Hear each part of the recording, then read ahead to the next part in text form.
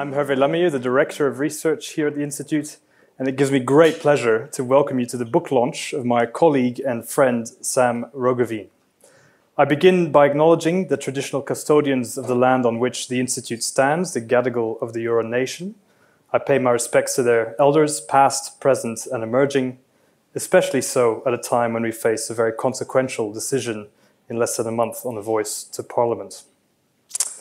It's fantastic to see such a turnout, and let me particularly acknowledge the Honourable Malcolm Turnbull, AC, former Prime Minister of Australia, in the audience here this evening, uh, along with a number of other long-standing uh, colleagues, friends, eminent journalists, and the like. Ladies and gentlemen, the Lowy Institute is special for many reasons, but first and foremost, it's unquestionably down to the people that work here. We've had many world leaders address this event hall, but it's always particularly satisfying when we get the opportunity to showcase our homegrown talent. And it can be hard to define what we do, what the model think tanker should be or look like. It's often said rather vaguely that we should be part academic, part journalist, part policy entrepreneur. That's a tough balancing act.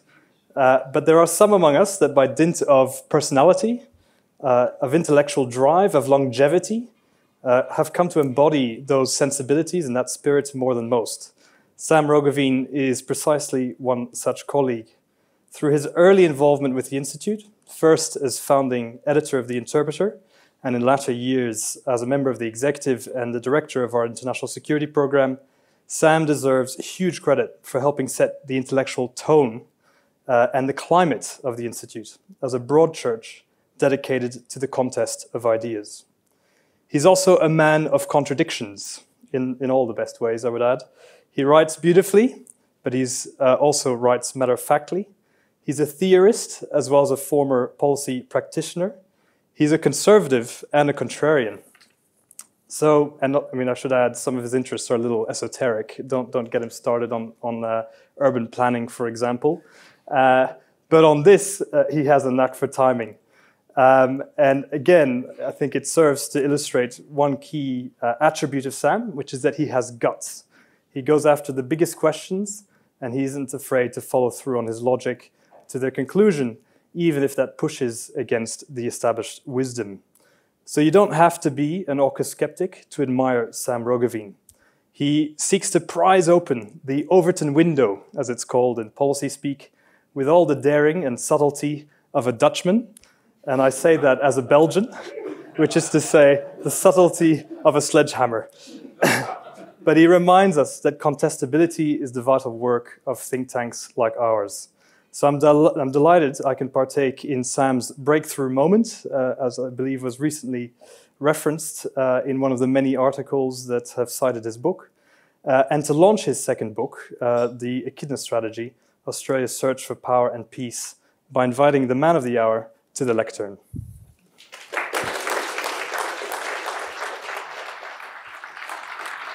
Thank you, mate. That's great. Thank you, Hervé. That's uh, that, that, was really kind and generous. I, I, appreciate it deeply. And ladies and gentlemen, thank you all for being here. Uh, as you can imagine, it's quite a thrill to be standing up here tonight launching this book. In fact, I confess it all feels slightly improbable given where I've come from. It's not that I have a uh, Frank Lowy like story of coming to Australia with nothing. I, I am an immigrant, but my family was firmly middle class when we arrived in Australia in 1980, and I grew up in the comfortable outer suburbs of Melbourne. Still, my dad was a carpenter, my mum a shop assistant. I went to state schools and concrete universities, not sandstone. My parents didn't always understand my job here at the Lowy Institute, but they used to love seeing me on TV.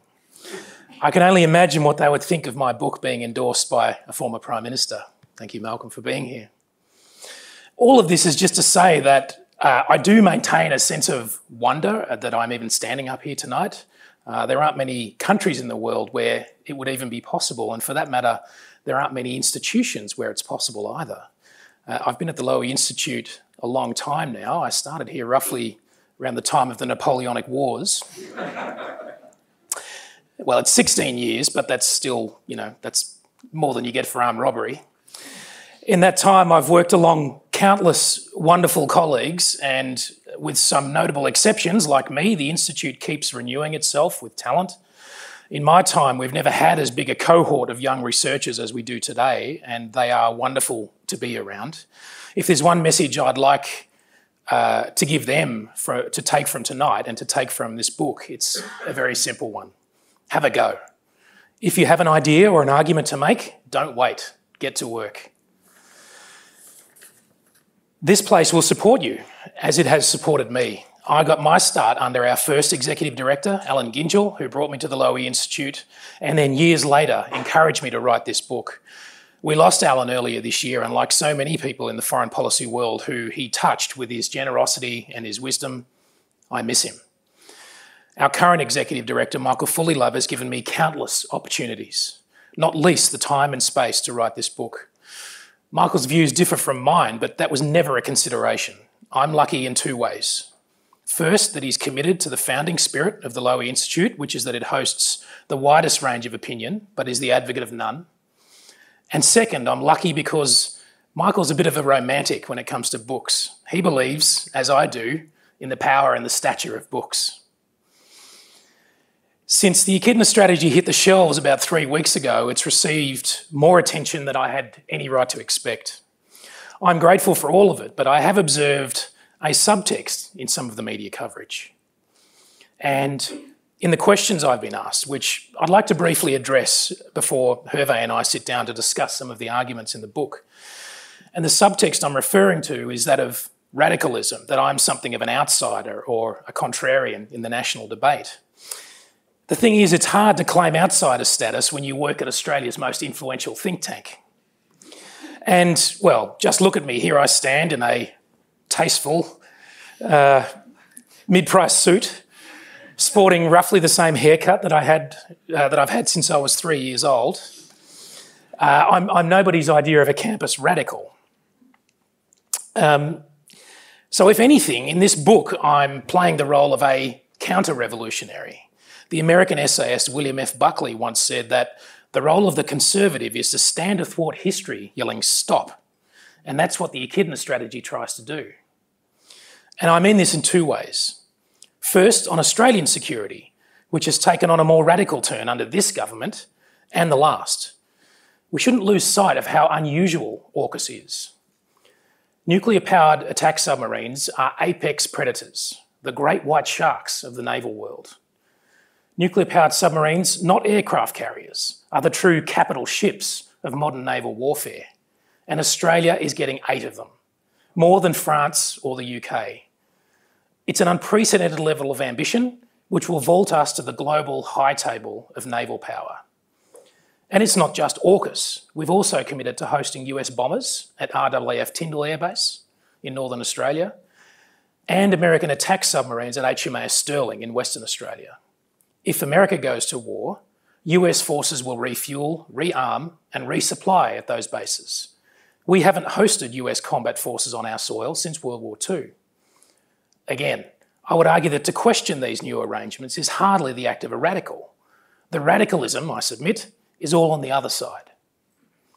The second respect in which this book stands athwart history, yelling stop, is in regard to America's place in Asia, which is historically quite unusual right now. The argument of the book is simply that the wide scope of America's security ambitions in Asia is a luxury item and that there will be a correction. The US says that continued American leadership in Asia is a necessity. It says America cannot be secure unless Asia is secure. But I argue in the book that this simply isn't true. And indeed, the Americans themselves may no longer believe it. No nation in history has ever sought as wide a margin of security as the US currently seeks, but it is far in excess of its real requirements. America and China are separated by a vast ocean. The US has a strong economy, the biggest military in the world, and thousands of nuclear weapons. China is by far the biggest adversary the US has ever faced, yet it is no threat to the US or to its economy.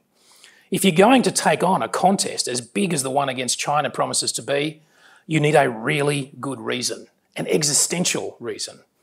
The US doesn't have one. Now, I'm not making a moral argument about the use or misuse of American power. I don't say Asia will be a better place if America is more, if American power is more circumscribed. I merely argue that it is highly likely to become more circumscribed, that Australia needs to plan on that contingency, and that resisting the tide of history isn't just a waste of energy, but threatens to make us less safe. The simple argument of the book is that in these circumstances, Australia should follow the example of the echidna deter without provoking, build an impermeable armour against your enemies, but never be the aggressor, and always let your enemies come to you rather than you going in search of them. Thank you all for being here with me. I look forward to the conversation and to your questions. Thank you. I'm sure you all have a signed copy uh, in front of you, and if not, uh, there'll be further opportunities after after this uh, conversation. But but let me begin, Sam, with the heart of your argument. I mean, it's a multi-layered argument. Uh, there are many many facets to um, this book, but it seems to me the core of your argument is the importance of distance, uh, for Australia at yeah. least. Are you mounting an isolationist argument? Mm. Thank you. Um, uh, the short answer is here, here is that in military terms, I would like Australia to be less ambitious. In terms of its foreign policy and its statecraft, I'd like Australia to be much more ambitious. So uh, it's certainly not isolationist in military terms because, and we can get onto this later, I, th- I think we will. Um, I, I, want Australia to have a much more intimate and um, ambitious strategic partnership with Indonesia, for instance. Uh, but nevertheless, I, I, think the weight of ambition in Australian strategic policy is misplaced at the moment. It's more towards the military side. I'd like to see it much more uh, weighted towards uh, the foreign policy side. So, no, it, it, it's by no means an isolationist argument. Uh, I, I, don't want Australia to hide away in a corner. Every metaphor has its limits, and I suppose the echidna metaphor lends itself to the idea that Australia is I mean, the echidna is a um, you know is, is a lone animal. It doesn't um, it doesn't congregate in groups, but uh, I, want Australia to have a much more ambitious foreign policy, and and the, the, the middle chapter of the book essentially lays out three arguments, uh, three projects for Australian uh, foreign policy in that regard. One is for Australia to really uh, secure its position the, as the leading power in the Pacific Islands region. The good news is we've made a lot of progress in that regard already, uh, and it's, it started under the Turnbull government and has continued since. Um, in future, there's even further that we could go, uh, and I propose uh, in the book the idea that eventually, as a long-term ambition, Australia could create something akin to a Pacific Union, an idea that I think you're also attracted to. Um, the, in fact, you kind of led me to this argument that um, the EU wasn't really an attempt to solve a security problem through economics, through an economic partnership. Uh, so the Europeans decided at the end of the Second World War that, this would never happen again. They would never go through that turmoil uh, and tragedy again. And the way to secure the peace in Europe uh, indefinitely was to form uh, an economic union uh, amongst all of them. Uh, and in broad conceptual terms, I, I would eventually recommend that Australia seeks a similar arrangement. That's not uh, an original argument on my part. The Rudd government proposed it, others have done so as well. Um, and as well as the Pacific Islands, as I said, a much more intimate and ambitious strategic partnership with Indonesia. Um, so I, I, think, you know, when, when China uh, looks around the region uh, and considers its own ambitions for regional leadership, uh, I think what it sees is other great powers that will always uh, that will always form uh, put up some resistance to China's uh, greatest ambitions. So India in the Indian Ocean, uh, Russia in Central Asia, uh, Japan in North Asia, the United States in North Asia. The one exception, however, is Southeast Asia. Southeast Asia doesn't have a resident great power. and that means that, on its face at least, it's going to be harder to resist uh, China's ambitions in this part of the world. So I argue that you know, re- really one part of securing Australia's uh, security in the future is that we should encourage Indonesia on, on, that path. And Indonesia is on track to become a great power. By the middle of the century, it might be, you know, one of the top five economies in the world. Uh, and that's very much to the good for Australia, so long as we're in their good books. I mean, the, the, the nightmare scenario for Australia is that Indonesia is both rich and hostile to Australia. We want Indonesia to be rich but friendly towards Australia. And so that's uh, the, the, the, kind of strategic partnership I'd want to establish with Indonesia is very much to head off that, uh, that darker future. Mm. The argument, at least, I think implicitly, because there hasn't really been a robust defense of the strategic rationale by any government uh, behind, you know, behind or backing AUKUS. Mm. But I think implicitly the argument that's being advanced is that everything you've outlined can be done whilst also investing in AUKUS, that you can walk and chew gum at the same time, that these are not mutually exclusive uh, avenues for Australian foreign and defence policy. Why do you believe that they're mutually exclusive? Well, maybe mutually exclusive is too strong, but there is a huge opportunity cost from going down the path that we've taken. Um, uh, so, you know, $368 billion is, you know, pretty serious money. Um, and it, it, may well go north of that. Um, and there are lots of other things we could be doing with that money. But I, I also think that there's a more fundamental tension there, uh, which is that AUKUS, I think, implicitly ties us to a security agenda, which is inconsistent with the kind of ambitions and the kind of plans that uh, that I laid out uh, just a moment ago. Um, and the thing I'm I'm most worried about is that we build a military force structure which it doesn't formally close off options for Australia, doesn't make it impossible for Australia to say no to the United States uh, if the United States should call uh, on Australia. Uh, but it does make it an awful lot harder. So um, if we build a fleet that, you know, let's uh, over a span of 30 years, we're proposing to build a fleet of submarines that will tie us to the United States, you know, in terms of uh, R&D, industrial capacity, nuclear safety, uh, tactics and strategy, and, and effectively uh, building a, a naval fleet for Australia, a submarine fleet, which becomes an adjunct of the US Pacific Fleet. In those circumstances, on the day that the balloon goes up, it is much harder for Australia to say, no, sorry, we're out. You know, having built, having spent decades building a fleet that is actually more or less designed for that exact purpose, you make it much harder for yourself uh, to say no when the time comes. I, I, think, and this is where we agree that, that um, and perhaps it's, it's again borrowing from the European analogy, that functional integration is the backdoor to further political integration. I mean, that's how the entire European project was, was set up, and it's not entirely analogous, but I think there is something more than just a, a functional agreement at work here. Mm. Nevertheless, and this is perhaps where we disagree, is um, there is an argument or a counter argument um, that you could try to seize the moment as Australia, as historically the junior partner in the equation, now that the US Alliance spaceship has firmly landed mm. in the Indo-Pacific, whereas before it was always something further removed. It was an insurance policy we paid um, and got involved in the Middle East and further theaters, but didn't really didn't really um, impinge on, on our on our Asian uh, um, focused foreign mm. policy. Mm. Now that those two worlds are colliding, there's an opportunity here not just to keep America anchored to this region, which I think is one of the logics, um, one, one of the rationales behind AUKUS, um, but also to be the tail that wags the dog, to shape the sort of uh, role that the US can play, could play in our region, to rethink the alliance, perhaps more along, to be a bit provocative, Israeli lines, whereby we actually have an enormous amount of leverage. There are very few countries who have our degree of access in DC uh, who could exert that level of influence on thinking uh, when it comes to US Indo-Pacific strategy, and AUKUS may be a means uh, to try to uh, uh, produce a different sort of US policy in our region.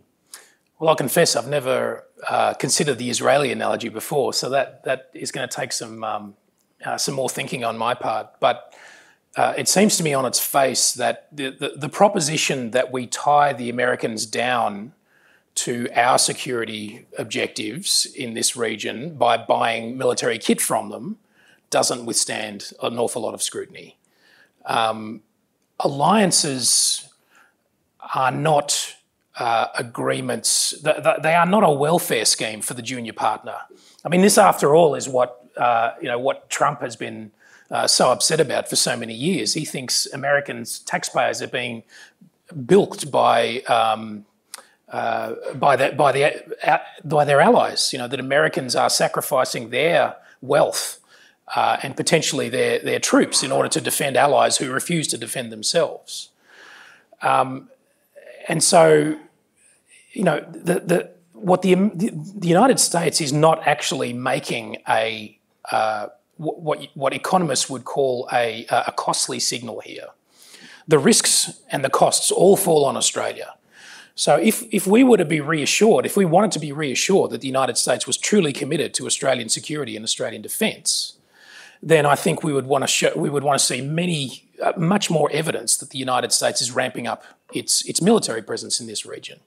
That's not what we're seeing. What we're seeing is a lot more distribution of American forces around the region, new basing agreements with the Philippines, new facilities on Guam, of course, Australia, I mentioned earlier in my opening remarks. Um, uh, but those really are, are, are, defensive responses to Chinese missile capabilities. The, the, Americans need to distribute their forces more widely because they're under greater threat. What we haven't seen is many more American forces committed to the region.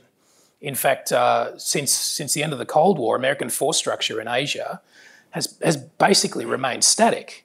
And that's in the face of China launching you know, the biggest, the, the, the, the most dramatic military modernisation of any nation since World War II. So you'd think more dramatic gestures would have been called for by now. If the United States really felt that it had to resist this tide, then we, we should have seen more uh, by now. Mm. So that, uh, and that is, I think, the single big, biggest piece of evidence to that reinforces my doubts, the, the, the ones I voiced at the beginning, that um, the United States may not be as committed as it claims. And, and buying submarines won't change that, sorry. Um, now, just on the, uh, so turning to the other side of the equation, which is China and, mm. and the sort of uh, level of uh, threat that may be posed by China's rise. So you've already alluded to, of course, its, its huge military modernization uh, program. But you're also, and in that sense, it, it is a bit similar to arguments previously advanced by Hugh White. But you also take a sort of different line that you you, you don't think the China threat is necessarily existential to Australia, or, or that at least that it may be overplayed. Can you can you go into that? Yeah, well, I owe a lot to Hugh White, and I've mentioned it in, in the book. Um, so the the argument that I've made about American staying power in the region is very similar to to Hugh's. Uh, I differ with him in some important respects, uh, and and one is the one you allude to, which is that he he argues that Australia um, in, in, in the environment he describes, that, that defence spending will have, have to rise dramatically.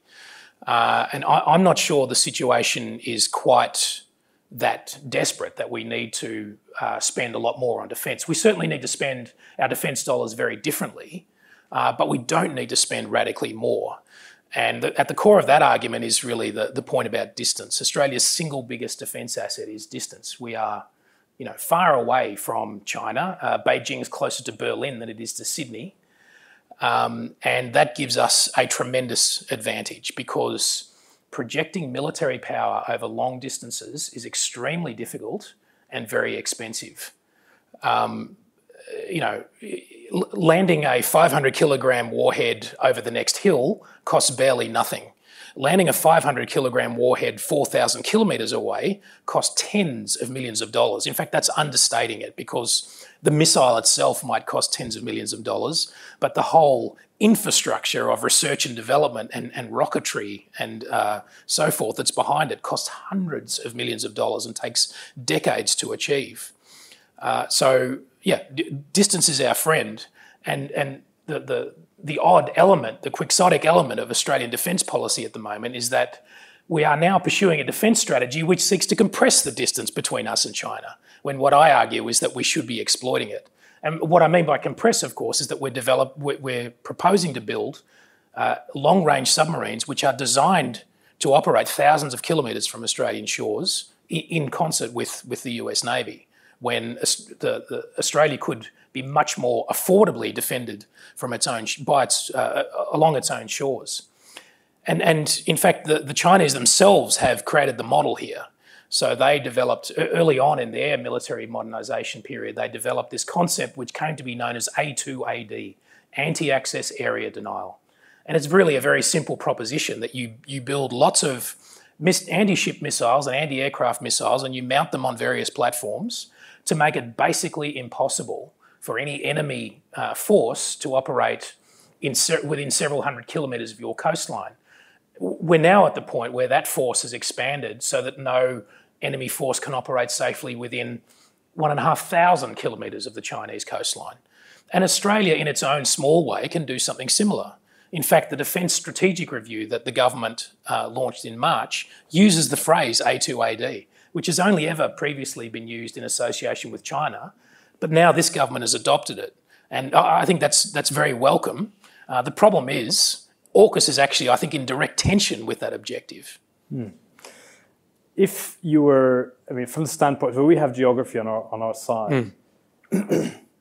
I, I don't expect you've given much thought to this, but if but if you were, let's say, an East Asian U.S. ally, and and for example, Japan or South Korea is still far more embedded within um, and dependent on uh, the U.S. alliance than we are. Um, mm would you then say the argument wouldn't apply? The same argument wouldn't apply because they're far more proximate to China, therefore the threat is different, the calculus is different, and basically, is your recommendation tailored and specific and unique to Australia, or is uh, it something that you think other countries could also seek to replicate, should seek to replicate? Yeah. You, you use Indonesia as an example. I mean, uh, Indonesia is also famously neutral mm. um, on questions of uh, defense alignments, but also more widely on, on foreign policy. Uh, is that sort of the template that you think uh, is required from more than just Australia? Well, well, the template is somewhat unique to Australia because uh, because of our geography. Uh, however, uh, I argue that in fact Indonesia more or less shares that geography, shares that strategic geography, and we have a common uh, objective, I think, in maritime Southeast Asia, which is that we uh, we both want maritime Southeast Asia to never be dominated by China, and that's why I think that that would be at the heart of a uh, a much more ambitious security agreement with Indonesia. That we need to uh, that we need to pursue that objective together, and we can do it much more efficiently together than separately. But having said that, I think the kind of the, the, the A2AD template, which is essentially defensive in nature, it's a denial doctrine. I think that actually is applicable everywhere. I, I, I think it would be to the benefit of strategic stability in our region if all countries adopted it. I wish China only adopted an A2AD strategy and didn't adopt a more, uh, you know, a more assertive um, defence doctrine and, and, and you know build a massive fleet of uh, of aircraft carriers as it's currently doing. Um, uh, and I, I, do think there are early signs of that. Um, the, the, the, the, evidence that a maritime denial strategy is effective and highly efficient is now overwhelming. So, uh, U- Ukraine is just the latest example. Um, it, it is, I was reflecting on this earlier today. It is an extraordinary fact about the Ukraine war that the, of the two countries involved in that war, the one that doesn't have a navy is winning the naval war. Right? It's quite extraordinary. I mean, just reflect on that for a moment. It, it, it was reinforced again last week when the Ukrainians sank a, uh, a or didn't sink, it didn't sink, but destroyed uh, a Russian submarine and a Russian landing ship, which were both in dry dock. And at the moment, the naval war is, is not even close. The Ukrainians also sank a major Russian fleet unit last year, the, uh, the cruiser Moskva, something like a 25,000 ton uh, capital ship. So, uh, you know, the, the evidence is accumulating that it is almost impossible in, in our modern world for surface ships and even aircraft to operate safely at, at long distances over water because they get shot down. And it's much cheaper and, uh, and much more efficient to be the country, economically efficient, to be the country that, you know, pings at these targets with missiles than to be the country which is sitting out there trying to block all those missiles. Mm. Mm. So this is an affordable doctrine, I think, for anyone in uh, for any Asian government, and I encourage them all to adopt it. So, I mean, you, you, you basically identify the risk of entanglement in a contingency that we would not want to be potentially involved in. So that's the sort of the political risk here in, mm. in engaging through AUKUS. Um, but you also don't think nuclear-powered submarines are required. I mean, it's not. What, what if you could get nuclear-powered submarines outside of uh, the U.S. alliance? I mean, what if it was provided through um, the French, for example, I mean, is that something that you think? I mean, just par hasard, um, but yeah. uh, um, but uh, you think that is just a, an unnecessary luxury, uh, uh, or or would you still be tempted? No, I wouldn't be tempted uh, uh, because and and be, because it is a luxury item and there's an opportunity cost for every nuclear powered submarine you get, and I'm agnostic where they come from. For every nuclear powered submarine you can get, you could probably buy four diesel powered submarines. And remember, the point for Australia is not to have submarines as such. What we want is the capabilities that submarines have. And what is the capability? Well, what submarines are really good at is sinking other submarines and sinking ships. But of course, there are a lot of ways to do that. And as the Ukrainians are now demonstrating, again, they have no navy and they're winning the naval war. So submarines are a useful capability for Australia, but uh, becomes somewhat fetishized in our national debate. Uh, the point is that we want the capability to make sure that our air and uh, naval approaches to our north are kept secure and that no foreign power can intrude on those. There are many ways to do that. Submarines are just one. Mm. Mm. All right. Um, look, I, I'm mindful of the time as well. Uh, what we might do, I've got a few more questions, but I thought we would mix things up a little bit, invite the right. audience uh, to ask some questions as well, and then we can uh, play it by ear and see how we go. But there's a lot of um, interested participants here tonight. Um, let me begin with the gentleman. Thanks very much. Richard Bronowski. Sam, what do you think? You, you mentioned Chinese ambitions in the region. What do you think they are?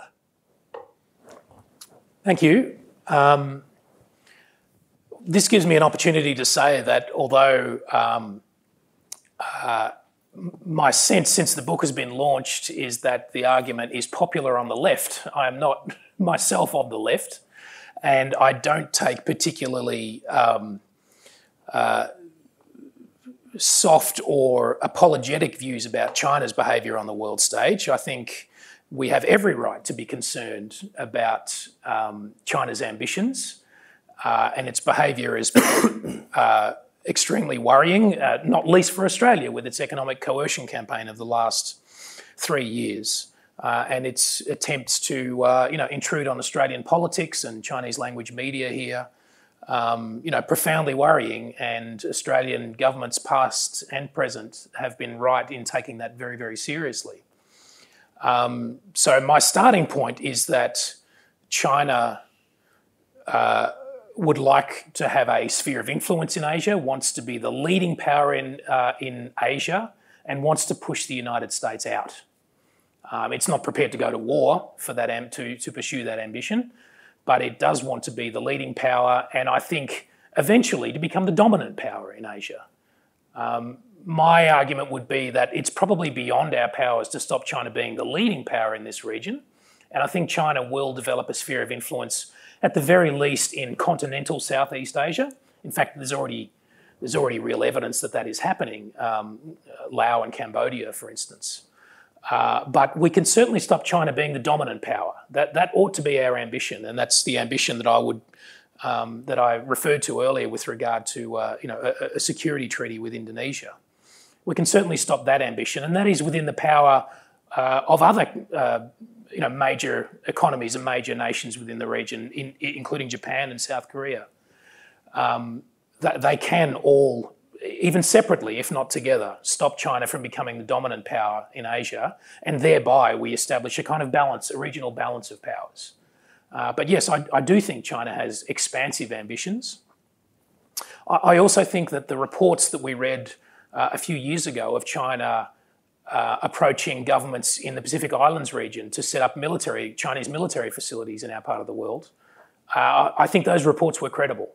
Uh, the, the, Uh, so, and, and, we have evidence that China is um, developing a naval facility in Cambodia. Uh, it's very much in our interest to prevent China from ever achieving that ambition, particularly in the Pacific Islands region. Few more questions. There's a hand of, yeah, closest to the air conditioning unit. There we go.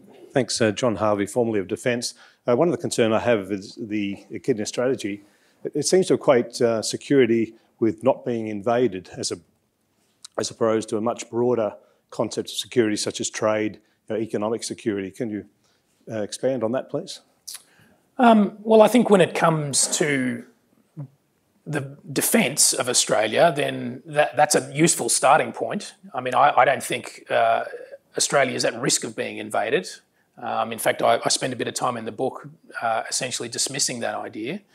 Uh, not not entirely dismissing it. I mean, it, it's worth sort of lingering on the fact that um, you know in our time uh, that, that there are two examples of major powers invading and attempting to occupy middle powers.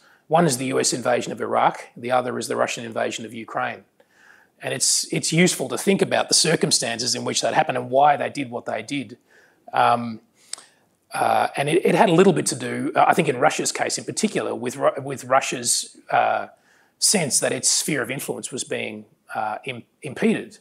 And so, if uh, you know, if China was ever to establish a sphere of influence as far down into the Pacific as uh, you know, as the Pacific Islands region, uh, then Australia would be in radically different security circumstances. Um, I do think it's important to to think about that high end, the high end of, of warfare and of military operations, first and foremost, because everything else follows. If you can't put up a credible deterrent against those high end threats, it makes it very much harder to, to tackle the lower end threats of the kind that you're referring to. Um, for instance, the, the, the Philippines can um, you know, put up a bit of a show against China in, in the South China Sea, but always with the knowledge that uh, China, the Chinese Coast Guard and then the Chinese Navy is somewhere over the horizon. So even if it wins or it can resist China at a localized level, if China chooses to escalate, the Philippines will lose, right? So Australia always needs to have the capabilities to ensure that China would be deterred from escalating, or that any adversary would be deterred from escalating. So it all starts from the high end, even if uh, you know the, the actual chances of it happening are are, are pretty remote. Sam, I mean, you, have spoken a lot about the strategic, the big strategic picture, and that's what the book is about. Mm.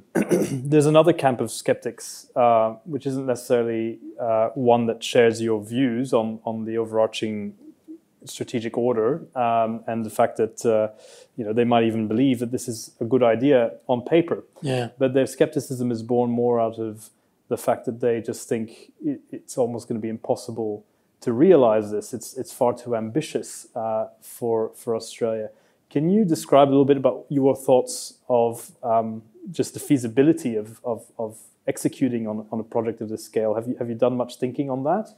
Look, a, a little bit, and in fact, it, it, there's kind of a there's always been a worrying. Uh, uh, thought underlying the process of writing this book and preparing this book is that the kind of strategic arguments that you've heard me make tonight and that I make in the book may turn out to be redundant because the project is so ambitious uh, that um, we, we, we, could end up with having no nuclear powered submarines at all, and that AUKUS, you know, it, it turns out to be a fizzer. I mean, you know, it, we've been here twice before, right? In recent years, I mean, we, we had a handshake agreement with the Japanese for them to build our submarines, and we reneged on that.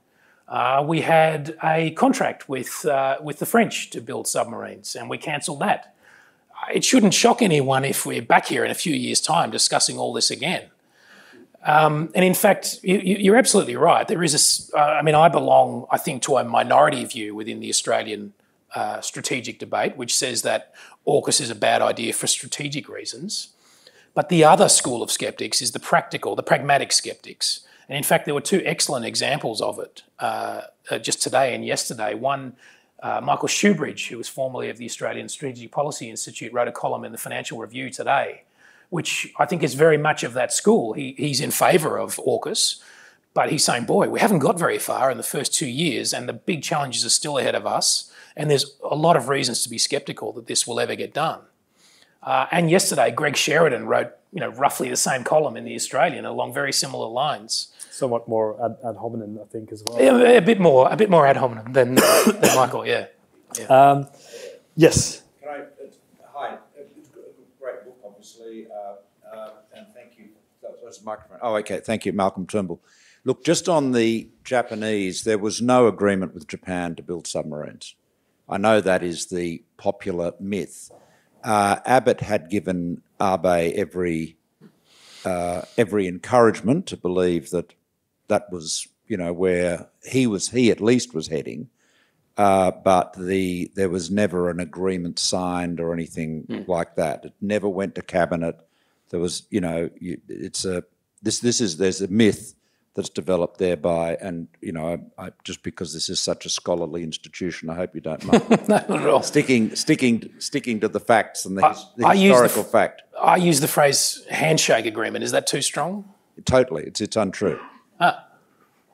Well, I mean, it, it, you either have an agreement or you don't. I'm sitting next to a Supreme Court judge here, so you can have a if you've got you can have an agreement which is written by a bunch of law firms, which is 500 pages long, or you can shake hands, but you've got to have an agreement. There was no agreement. There was every impre- every, every impression, every encouragement created by Tony, and he and he did so without the endorsement of his cabinet or any public disclosure there, thereby. But it was not. There was no agreement. So it's just really important. Australia did not renege on an agreement with Japan because there was no agreement. And people who say that are really undermining Australian Japanese relations because people in Japan may believe it and think that we ratted on an agreement with them in the way that uh, Mr. Morrison did shamefully with uh, France. Thank you. Uh, we'll take one more question. Thank you. Andrew Caldor, um, thank you. Could you uh, talk about Taiwan, please? Uh, how you, what's the probability within my lifetime, say 10 years or 15 years, uh, that there will be a conflict? And if there is one, how should we react given the Echidna approach? It's a very good question. Yeah, thank you. Well, the first thing I'd say about uh, offering a prediction or a forecast about the likelihood of war over the Taiwan Strait, across the Taiwan Strait is to never rely on people like me for making such predictions. So, I would point everyone to um, uh, an American political scientist by the name of Philip Tetlock, who wrote a wonderful book called Expert Political Judgment, which demonstrated beyond any reasonable doubt that political experts are absolutely terrible at making predictions in their area of expertise. I, and I'm not, and I'm not having a go at experts. I, I pretend to be one, and experts are useful in many different ways. They can help you explain the world, but at making predictions, their, their record is no better than throwing a dart at a board. So don't rely on us for accurate predictions. Uh, even though the market for them is extremely strong, and we we keep being rewarded for offering uh, confident predictions, but but you shouldn't uh, you shouldn't be swayed by them. Um, uh, what, what, Australia should do in, in light of the Echidna strategy? Well, the, the, the final chapter of the book is actually devoted to that question. Um, so, really, what I say in the final chapter of the book is well, what if I'm wrong about America? What if uh, instead of what, what I said at the lectern before about America's uh, declining resolve to, uh, to defend its interests in Asia, that America finds that resolve and that it does redouble its efforts here. And it does, should the balloon go up, it does choose to, uh, uh, to defend Taiwan. And potentially, by doing that, uh, launching World War III, because the stakes really are that high. So if that happens, then I think Australia should stay out. That is my simple proposition. Yeah. I think Australia has uh, interests in Taiwan, and I think personally, I and I think the most Australians would argue that it would be far better if Taiwan remained democratic uh, and that it never succumbed to Chinese military power. If nothing else, I mean, Taiwan, Taiwanese democracy is great for the Taiwanese people, but if nothing else, the fact of Taiwanese democracy is a powerful standing rebuke to the Chinese Communist Party. Because the Chinese Communist Party insists that the Chinese people can't have democracy. They're not, they're not ready for freedom and democracy. And there's an example just across the strait saying, actually, you're wrong about that. And I think that's a wonderful example that, that is uh, uh, made to the Chinese people and to the Chinese Communist Party. However, does that mean that the defence of Taiwan is a vital interest for Australia, one we should be prepared to make major military sacrifices for, and potentially uh, could lead to World War III? No, I argue not. The, the, our interest is not so closely aligned that we should uh, that we should want that. Um, I'll, I'll put it in a slightly controversial way, just to just to close that off. Up until a few years ago, Hong Kong was a thriving democracy. It no longer is. Has that materially affected Australia's vital interests? No. I would much prefer that Hong Kong was a democracy. But for Australia, I would argue that's not worth going to war over. Yeah, but I mean, there's still a huge difference in terms of an island of 25 million people with de facto territorial integrity. Yep. and Hong Kong, which was ceded in 1997, um, et cetera, et cetera. But it, there's also a broader argument here, which is, I mean, a lot of the critics will level at you, which is it's a slippery slope, right? I mean, it, okay, so Taiwan we don't get involved in, but you say we don't want China to be dominant in uh, maritime Southeast Asia. So what about a contingency in, South, in, in the South China Sea? Now, I'm not saying predict whether that will happen. Of course, we're not here to predict, but it is a distinct possibility nevertheless. Does uh, Australia then get involved? Is are there any circumstances in which Australia would or should get involved in the kinetic conflict with China? It sounds a little like the domino theory. We've, we, have we have been there before. Um, it, didn't, it didn't work out that well the first time around. Uh, and look, I, as, just to reiterate, I'm no, I'm no romantic about China's ambitions and Chinese power, but you cannot resist Chinese military power uh, and you, you, cannot deter Chinese uh, strategic ambitions unless China knows that you are serious, that you have vital interests at stake, right? You, and you, you can't fake uh, you, you can't fake that. You, you, you have to demonstrate uh, that your vital interests are engaged, and if they're not, then your bluff is there's every chance that your bluff will be called. So Australia and and every country around the region that has uh, interests that are contrary to China's needs to be absolutely clear about where our our nice to haves end and our vital interests begin. And that's the point where we defend ourselves. And that's, yeah, that's, that's exactly. So you're calling for a clearer delinea- delineation of our core interests. But part of your core interests goes as far as, in, in your sort of phrasing, goes as far as ensuring China is not dominant in maritime yes. Southeast Asia. Yeah. Presumably, therefore, you, you would have a different approach to a outbreak of war in Southeast Asia or South China Sea than you would when it comes to Taiwan? Uh, yes, certainly if we were in a very close security partnership with Indonesia, I think implicit in that would be that we would we would fight alongside of each other. Yeah. yeah.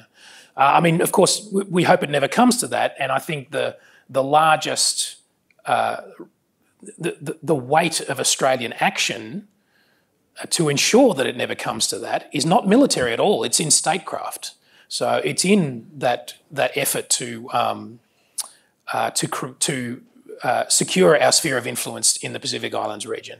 It's in that effort to uh, develop a stronger security partnership with Indonesia. And the third proposition in the book is that Australia ought to be fighting, uh, working extremely hard to bring together a, what, what is something like a concert of powers in the Asian region so that the, the major powers in our region all come together to, uh, uh, to settle, to, to, to manage their differences peacefully and to ensure that there is never war amongst them.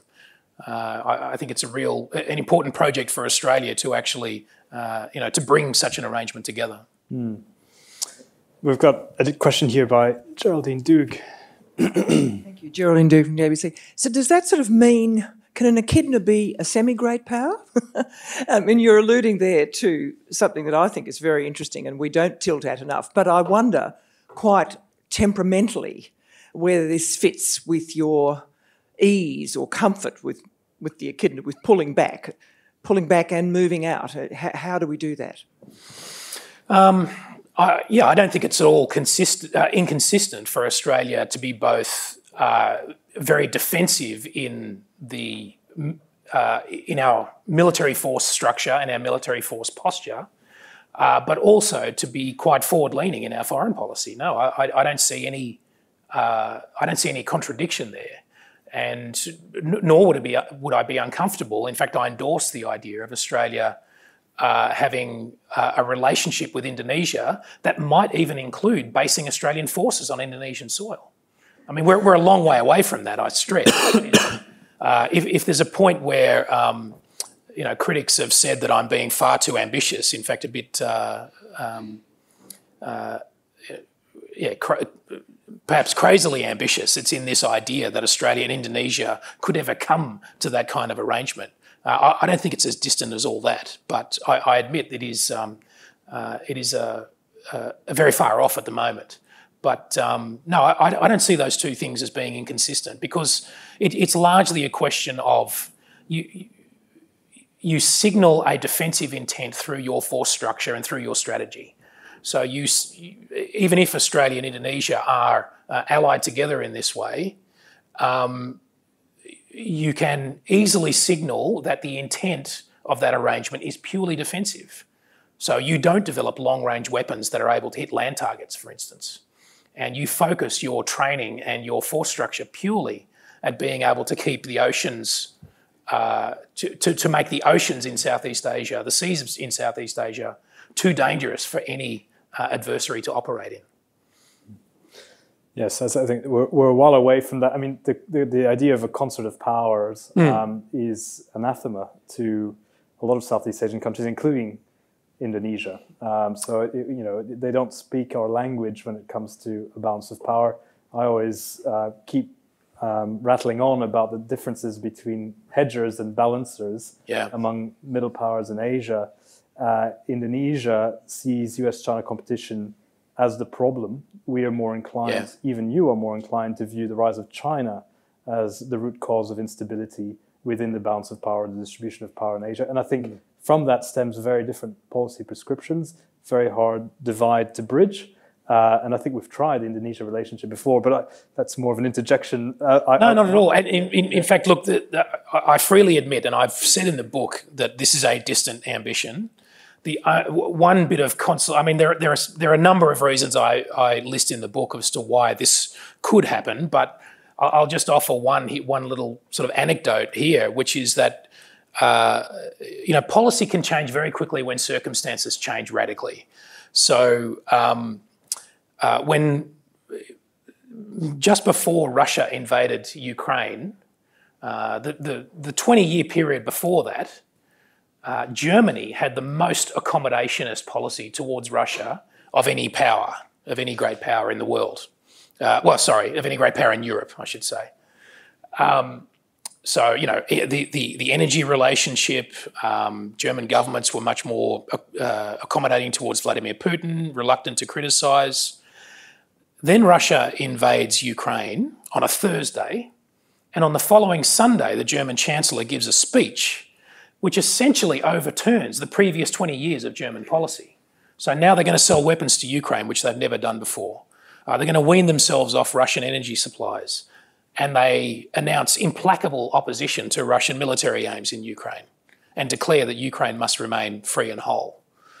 So things can change very quickly when circumstances change. I'm not saying that the Chinese will be quite as aggressive in their policy as the Russians were over Ukraine, but over time, China's ambitions are going to butt up much more strongly against Indonesian interests.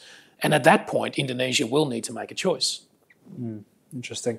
Um, there, there were yeah, there was a number of hands. Um, oh yes, all the way at the back there. Our very esteemed colleague. oh, sorry, I, I, actually meant anyway. Thank you very much. Um, if I could return briefly to AUKUS, we had, and I was wanted to explore some of the political uh, ramifications, games, if you would, and with due deference to our former PM sitting in the front row.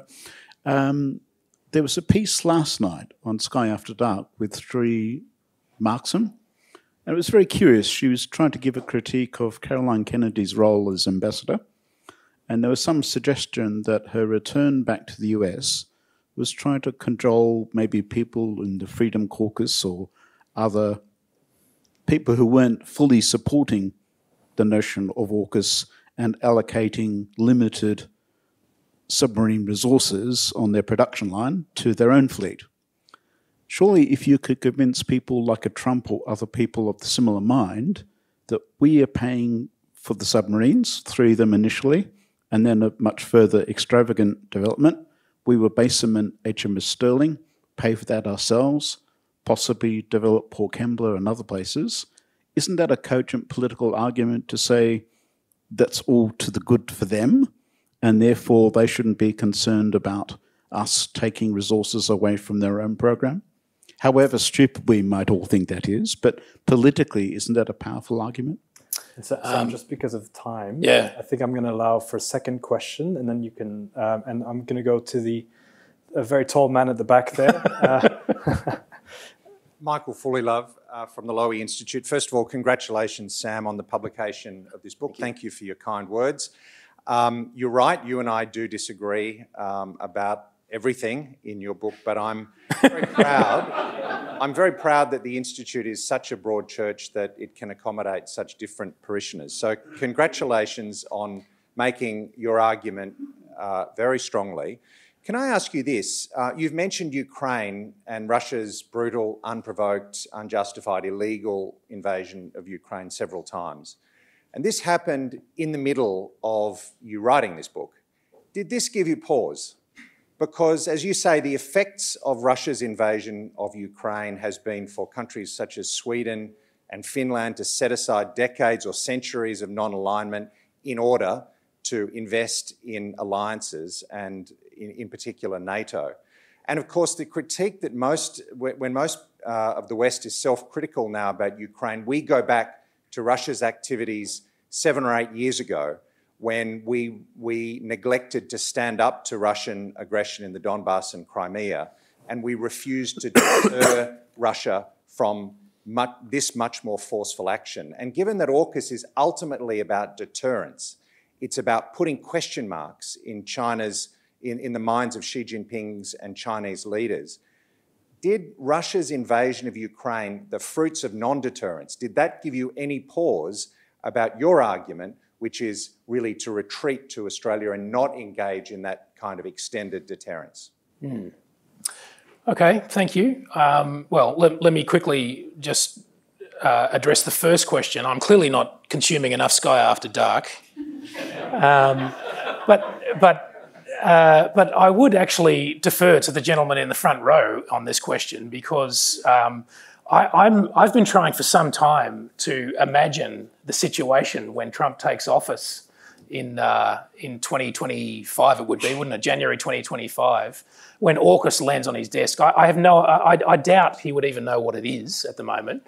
But when a paper lands on his desk that says that the United States is about to lose three or maybe five nuclear powered submarines, I, I mean, I, I remember the phone call that that Malcolm Turnbull had with uh, with Donald Trump uh, about you know the, the relative. I don't mean to diminish the issue at all, but the relatively trivial matter of a refugee exchange. Imagine he's gonna he's gonna lose it when he hears that the United States is about to sell you know it, its most important military assets to Australia.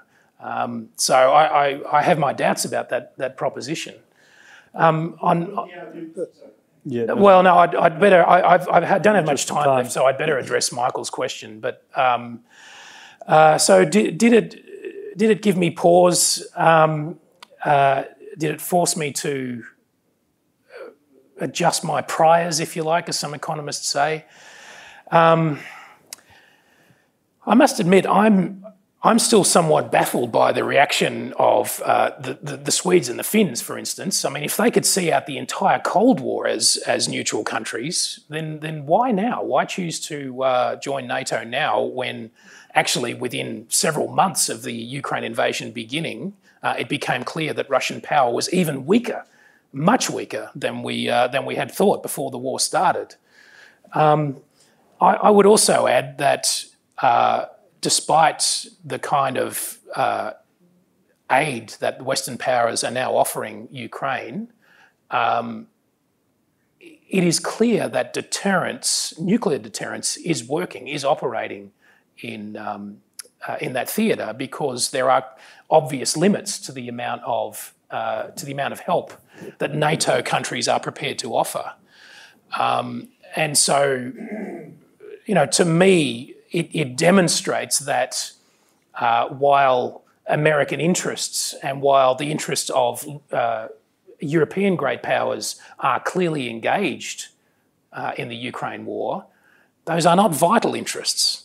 If Ukraine was a vital interest of Germany and uh, France and the rest of NATO, then Ukraine would have been a NATO member already.